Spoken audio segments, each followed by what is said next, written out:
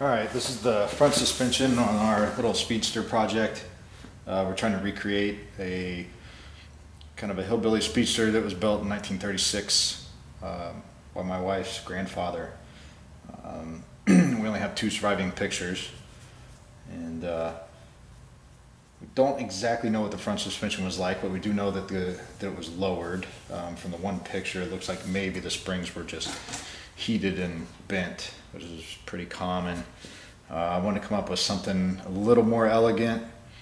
Um, so the spring was really nice. Uh, didn't want to get too medieval on it. Uh, like to have actual, you know, spring travel and have a decent ride rate and everything. So what we did is made a front cross member, and there's lots of different ways to do this. Uh, this is just the one I picked. A lot of times you'll see guys will just take a, and this this they did at the time, right? Just a large plate. Essentially, it comes up and essentially makes a bracket right here. It's usually really thick, like quarter inch thick, and then they'll use brackets like this or something, some kind of U-bolt or something to hold the spring. Um, what we did is made a piece that goes from frame rail to frame rail, um, just straight horizontal, and then the spring fits up in the channel just like um, it does on the, the original frame. Um, when you do it like this and it's just horizontal like that, it's basically a five inch drop.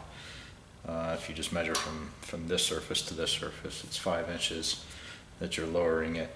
Now you're also moving the wheelbase, you're moving the front axle forward, right, approximately, I don't know, three inches or so.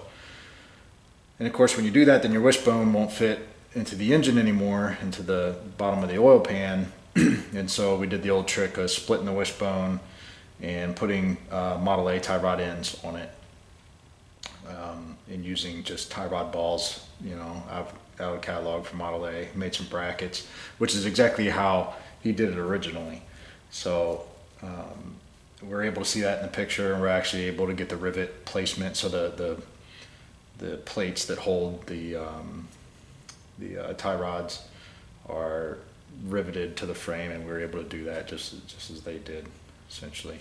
So you also see um, the I reused the uh, these are rear shackles. So we got an extra set of rear shackles, and uh, because the front spring is so much thinner, and because we have to fit, you know, the spring kind of fits up there in the channel.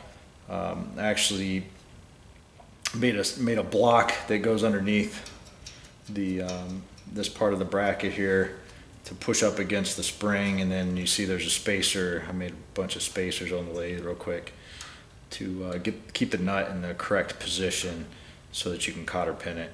And then the frame is drilled has two holes drilled through it because these these brackets you know they have two holes to keep them from walking. They have two pegs that fit, fit through the holes. And then uh, some poor SOB got to uh, sit there and file this square hole here for the for the front spring bolt. Um, so then after all that, we have we have an axle um, or a front suspension in decent location. Um, where you can see we're running 26, 27 uh, T wheels wire wheels, which requires different hubs unless you want to use the adapters. I didn't want to do that, so we we found uh, the correct hubs, and they aren't cheap by our standards. We're trying to build this thing for nothing, and uh, more expensive than anything was actually the bearings. So we we did find hubs. Of course, there were no bearings, and the bearings that we had from the wood wheels were kind of shot, and so we just ordered them all new and uh, rebuild them. The wheels are pretty expensive too. Luckily in the rear, uh, that's a Model A uh, rear axle, so we're running Model A rears in the back, so they're nice and cheap. And we have a stack of those suckers. So I'll just move over here so you can see the radius rod set up. So you can see the bracket there and uh, the tie rod end. So we just bought one uh, tie rod from a guy and cut it in half, machined it on the lathe, So the the wishbone is uh, hollow on on a T, and this is solid on on an A at this point. So we just turned this down, piloted it in there, plug welded it, welded it around. Um, they are right hand, left hand, so keep that in mind when you're putting everything together. And uh, just welded the ball on there. Now this baby's on there forever. Hot riveted. Uh, we just used T um, running board rivets. I think they're 5 16 diameter. And just nail those suckers on there. And we have a front suspension now. It's right length. For the rear, we had to extend the wheelbase again to uh, that's set up by the transmission and the drive shaft. So because we're hooking the A transmission to the back of the T transmission, that's a lot of extra length there. And then, of course, this axle was never meant to be in this frame anyway. So we replicated the 5 inch drop by doing this zigzag here. So a lot of the times when they would do this kind of drop bracket, they would actually remove some length from the frame and keep the wheelbase shorter. But because we are using this, this A set up in the back here, we just cut it. So the, these two pieces were the mating pieces. We just cut it and made the, these zigzags and welded them in there and that's our five inch drop in the back. Uh, the rear leaf spring is a T and the axle is an A and uh,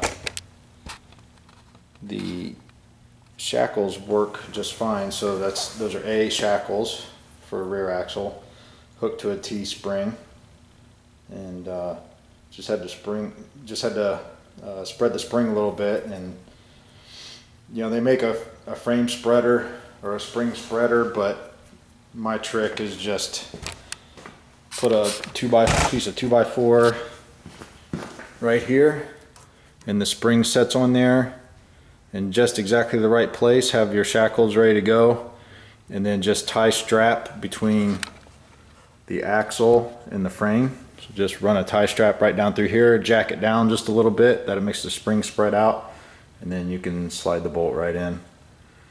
If you have a really fat friend, it'll work too, but thinking you need around 400 pounds. So um, we removed a couple leaves from the rear uh, we removed two, and you don't remove any neighboring leaves, of course, right? So we took out the second longest. So we took out this guy and left the next three in and then took the one the second shortest. So if you have your little speedster book, that was the hot setup in the day. Those are the ones they would remove. Uh, I have to do the same trick to the rear shackles because they're also loose now um, because we removed those two leaves. So I'm going to put the spacer block and everything in there. It's not as radical as the front, but same deal.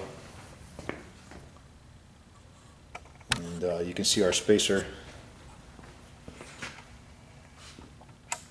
or the adapter I made to hook the T-Trans to the A. We're running aluminum hogshead because I don't want to run a starter. We're going to crank it every time and start it on magneto hopefully. Hopefully no battery whatsoever. We'll see how it goes. Um, this bell house was really beat up. We got it from a guy for 50 bucks. Um, you can see there I've started the repair So that was all blown away. I replaced that. We still have another piece up here to replace, but it was it was really bad shape. It was really nasty. The pedals were totally rusted in place. We like to use really nasty old parts so that we don't feel bad about modifying them. So, plus it's just cheaper. I mean, aluminum's hogsheads now are kind of pricey if they're in good shape. So, I don't think we even paid 50. I think I paid the guy like 30. I think 50 is what he was asking, but. Uh,